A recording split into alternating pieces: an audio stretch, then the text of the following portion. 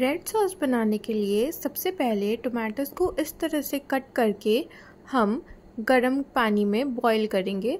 एक red chilli भी उसमें डालकर बॉईल करेंगे। उसके बाद उसे पील करके मिक्सर जार में डालकर बढ़िया से ग्राइंड कर लेंगे to get a fine paste then एक पैन गरम करेंगे। उसमें थोड़ा बटर डालेंगे।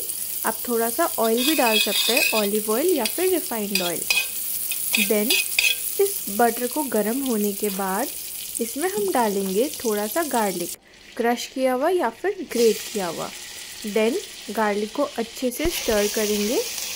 जब ये थोड़ा गर्म हो जाए, उसके बाद इसमें डालेंगे एक कप प्याज। उसे भी अच्छे तरह से हम मिक्स करेंगे। जैसे ही ये प्याज पकने लगे, इसमें हम सीजनिंग डालेंगे।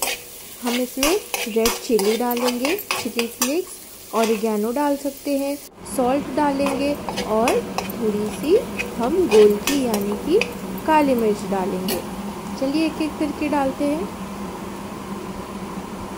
सबसे पहले इसमें जाता है चिली फ्लेक्स अगर आप ज़्यादा तीखी पसंद करते तो ज़्यादा, वरना फिर थोड़ा सा नेक्स्ट ऑरिगेनो इसको अच्छे से मिक्स कर लेते हैं।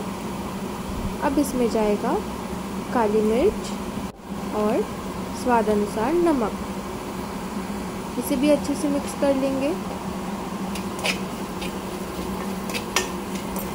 गैस को एकदम मीडियम फ्लेम रखेगा, वरना इसमें गार्लिक और अनियन जल जाएगा। अब इसमें पीसी हुई टमाटर को हम डाल के अच्छे से मिक्स करके पकाएँगे जब तक कि वो थिक ना हो जाए। इसे स्टर करके, बढ़िया से मिक्स करके, बहुत ही अच्छा गार्लिक का फ्लेवर आएगा। जैसे ये थिक हो जाएगी, हम बंद कर देंगे।